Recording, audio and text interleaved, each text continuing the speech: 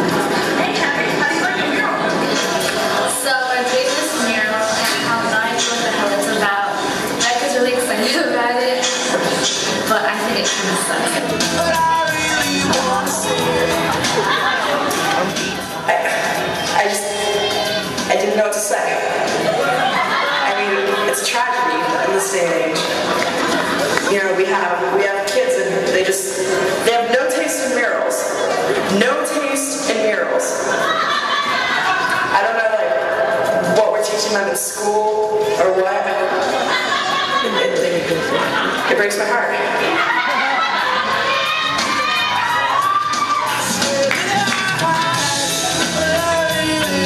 Yeah,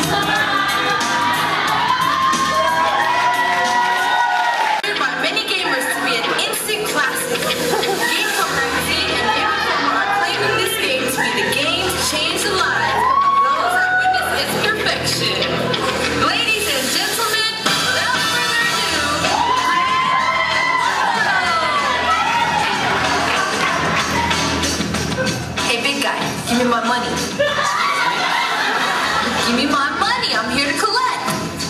What money? I've been giving you money for the past five weeks. Excuse me, miss. You better give up the money. I'm gonna read my book.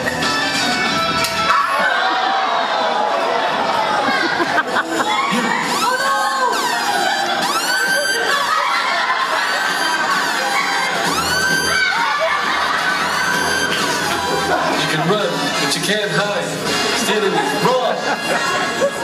Hey, I I don't want any problems. Just, just take it. Just hate my life. Just gonna jump off this building and just end it all. Alright, I'm gonna do it.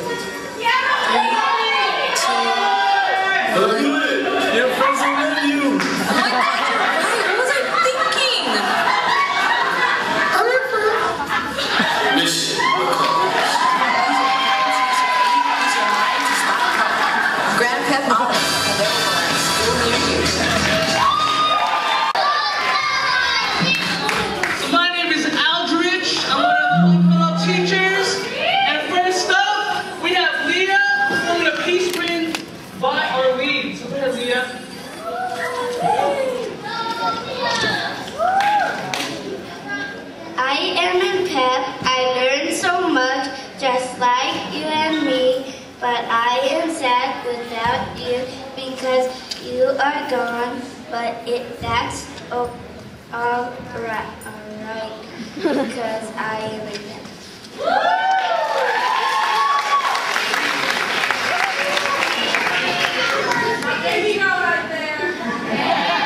My name is Angela, and I, I, my topic is languages. I like languages, and I learn three languages too, and I think it's cool.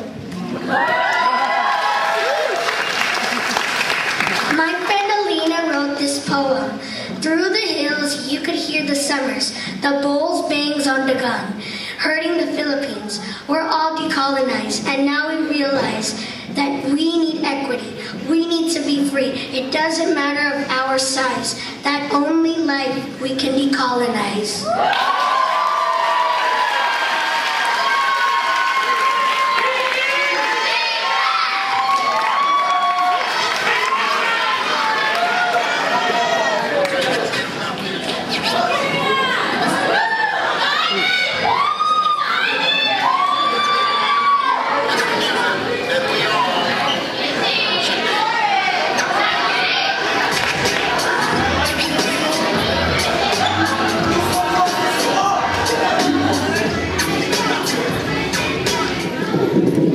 Up, everybody? Uh, we're Pep Balboa, and my name is Jackie. Is someone sitting here? No. I'm Romy. Chanel. Lauren. Your hair's in my I'm way. Katrina. Patrick. Grace. And this is a mural we've been working in class for the past month. Our theme of our mural is identity. Identity stands for integrating diverse experiences are necessary to transcend issues to transform the youth, y'all, yourself. As you can see, the sun right here represents light. The, this mural covered universal themes, which in this case are presented with a setting of Filipino experiences. The people are being casted under the shadow of the book, which stands for an oppressive government and society, limiting their knowledge and action and keeping their keeping them from happiness. The people's way of life is, is based around but not controlled by the book. Opposed to the to the people on the other side who suffer and struggle under the shadow of the book, but on this side, they write every chapter of the book. The big ears uh, represent the attaining of knowledge. The wings represent freedom. Light is enlightenment. The trees uh, represent growth of knowledge. And the book, you read it yourself.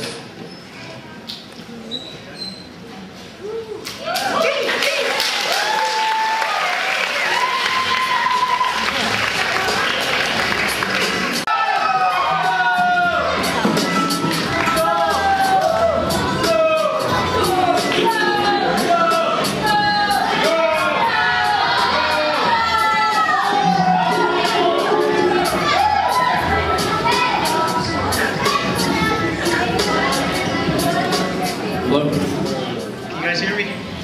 Hello? All right, um, I wrote this song about the I Hotel. Uh, it was located on Kearny Street, downtown. Um, yeah, it's a pretty awesome song. Here you go.